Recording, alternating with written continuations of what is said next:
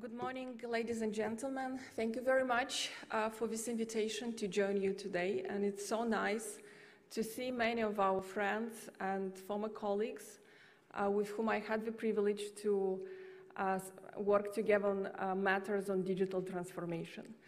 Today I'm going to share with you uh, what the World Bank Group has been doing in the space of opening up its data, opening up its knowledge, um, its position on uh, opening open code and how we can leverage open data, open knowledge, open code to help our client countries, um, our developing countries, emerging economies in moving forward, um, speeding up their development uh, through innovation and collaboration.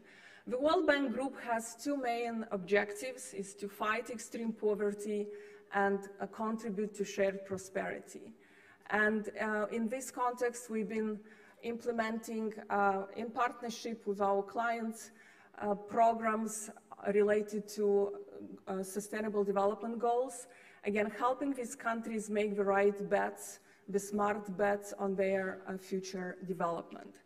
We are also, I'm also going to share with you um, what the World Bank Group has been doing in terms of uh, opening uh, and reusing the code uh, that is being created both by, uh, by our staff, uh, but also tapping into the innovation and ideas and solutions that are being co-created globally.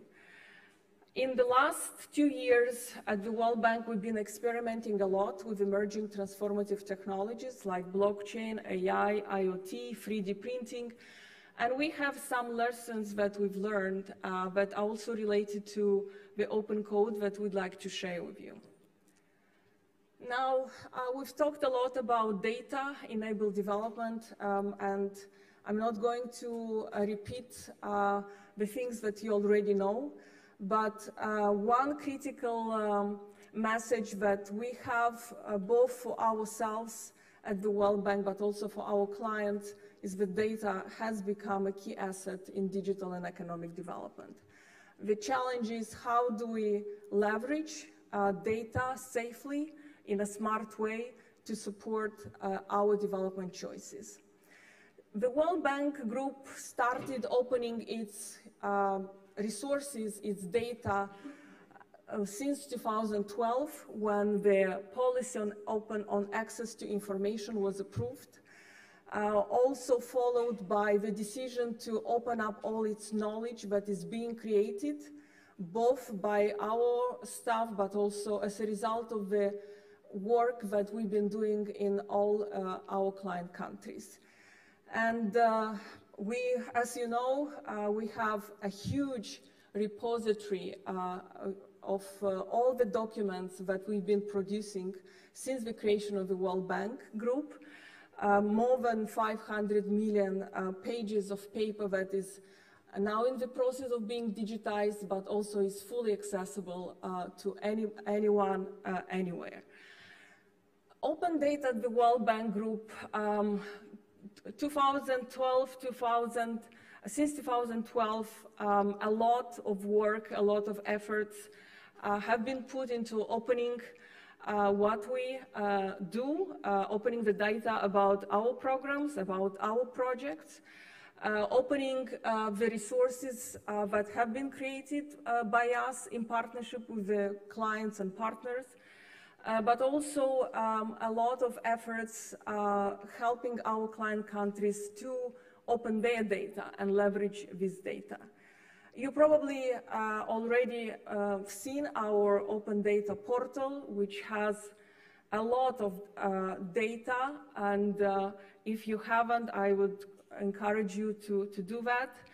Um, the World Development Indicators have become one of the uh, primary source of uh, data related to development, and it's also available online and uh, uh through the website that uh, was launched last year. Um, in terms of supporting our clients, um, we've been working with more than 50 countries around the world, and um, a, a lot of funding has gone into helping the clients to launch their own open data initiatives. a lot of efforts in uh, helping this client run open data readiness assessments. Uh, and a lot uh, of efforts in helping uh, opening ourselves um, and helping our clients open the data about the public procurement, the open contracting uh, repository and open contracting data standard that has been developed. We have been uh, uh, running a lot of analysis in terms of what is the impact of data, especially on uh, driving uh, more transparent, more inclusive development in our countries. And uh, you can access online some of the most recent reports and documents that are looking very closely at what is the impact of opening our data, both at the country level and, and global level. And hopefully uh, we, we can continue this discussion uh, next year in Kenya uh, at the uh, International Open Data Conference that the World Bank has been uh, part of organizing um, in the last several years. Um, moving towards the open code, open software, uh, open source software, why this has become um, an important topic and it's becoming more and more an important priority on our agenda. First of all, because uh, as Mario also mentioned, the creativity, uh, the power of ideas, of solutions that this old, uh, this world is creating cannot be neglect, neglected. And how do we make sure that our client countries, uh, which have to uh, make sure that they are agile enough and speedy enough in tapping into this knowledge, into this wisdom of the crowds, uh, to make sure that they are um, speeding up development.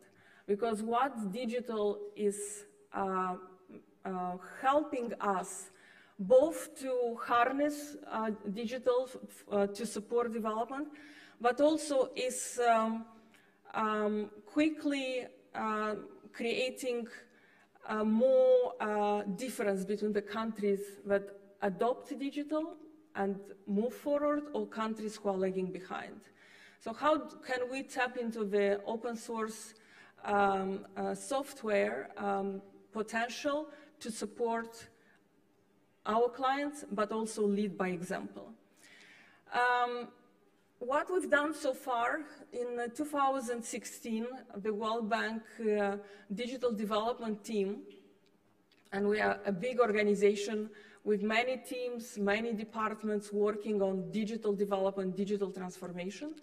So one of our teams have been uh, uh, um, joining and uh, partnering with other multilateral organizations and private sector organizations in shaping the digital development practices uh, principles, which uh, you can find online and which has nine living guidelines designed to help us and client countries to uh, embrace digital development, uh, digital technologies to support their uh, digital transformation efforts.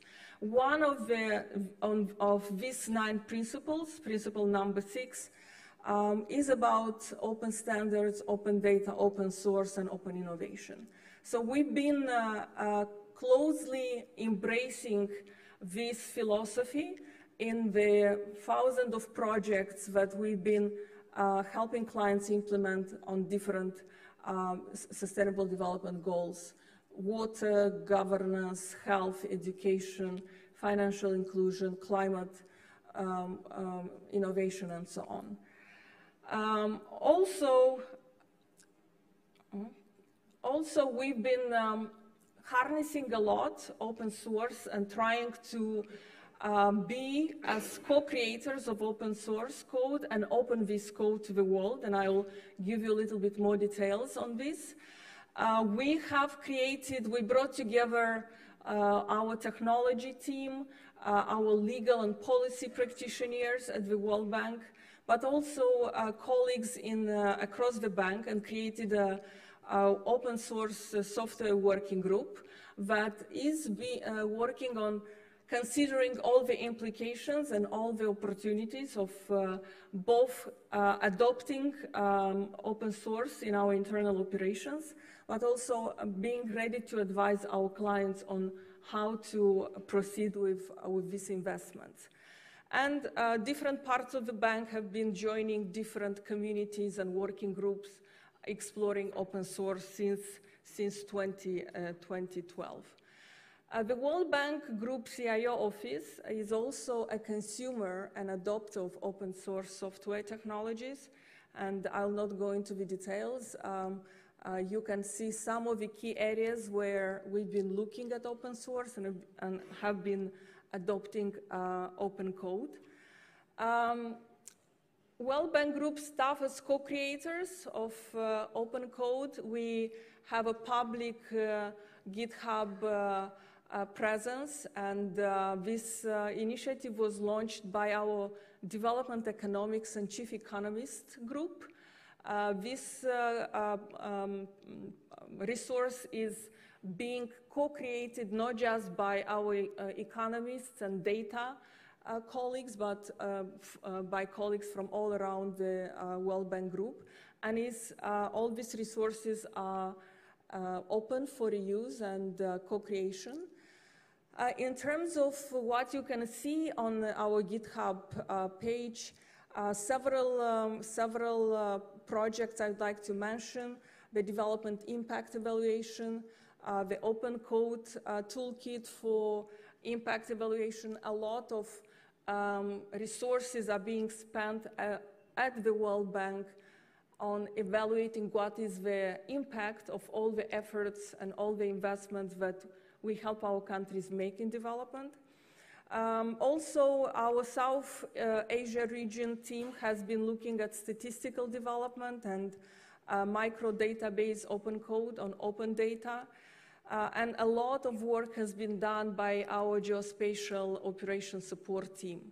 And uh, highly um, and uh, kindly asking you if you have uh, uh, any more, um, any interest in these projects to access our GitHub page, but also we'd be more than happy to connect with our colleagues working on, on these projects.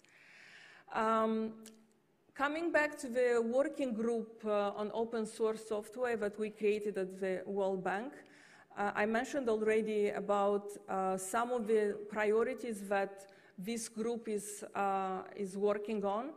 Uh, but we, um, first of all, we think it's very important to be fully aware and uh, um, educate ourselves in terms of what is happening in the open source uh, community uh, across the world because we are moving towards a more decentralized world as ever, uh, where value is creating not in our traditional institutions and buildings, but uh, in online communities all across the world.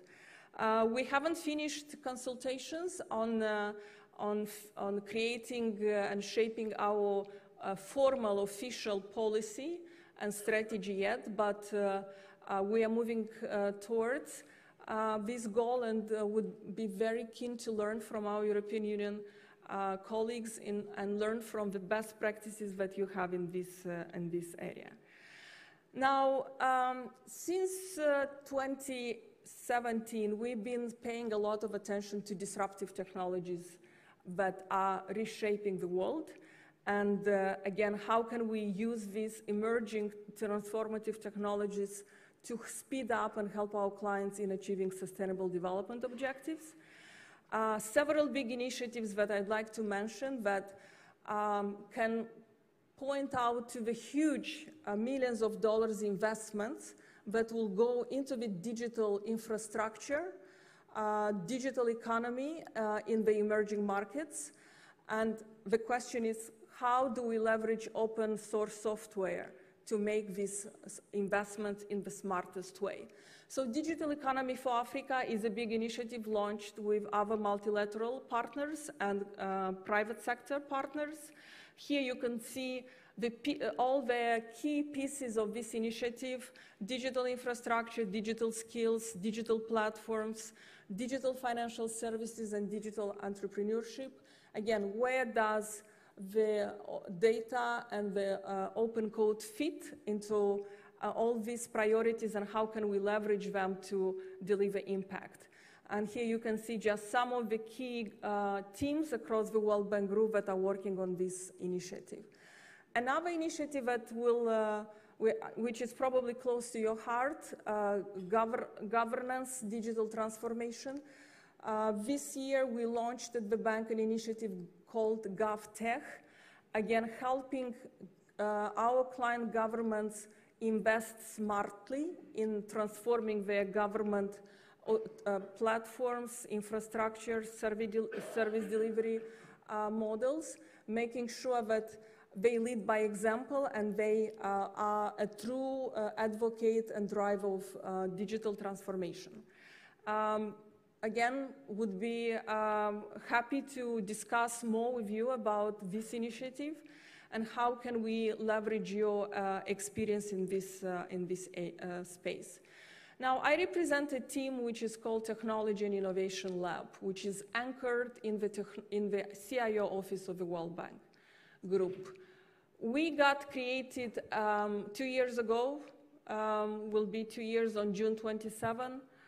And uh, the reason uh, our CIO decided to create this team is to build an internal learning platform where the business, here I mean the World Bank Group staff, and the technologists at the World Bank Group can join forces and can learn by doing what all these emerging technologies like blockchain, AI, IoT can do to solve uh, development challenges and to be more effective as a global uh, operating organization.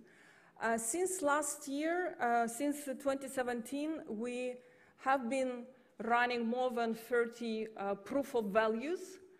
Um, and right now the focus is how do we scale, how do we operationalize these technologies in our client countries. Again, you could see here some of the topics we've been exploring, uh, themes like uh, supply chain, uh, financial inclusion, uh, business model innovation, but also sectors we've been exploring in sectors like climate markets, uh, land, um, supply chain in agriculture, health, education, financial inclusion, and so on. Many of these projects have been running in, in our client countries. And would be happy to talk to you about what we've learned so far. Now, where does open source uh, fit into this uh, emerging transformative technology uh, adoption? Uh, here you could see just some of the questions that we've been asking ourselves, uh, specifically in, uh, um, in, the space of blockchain and AI, and whether open source can help us tackle some of the challenges that we've been experimenting with and uh, uh, for which we are still looking for answers.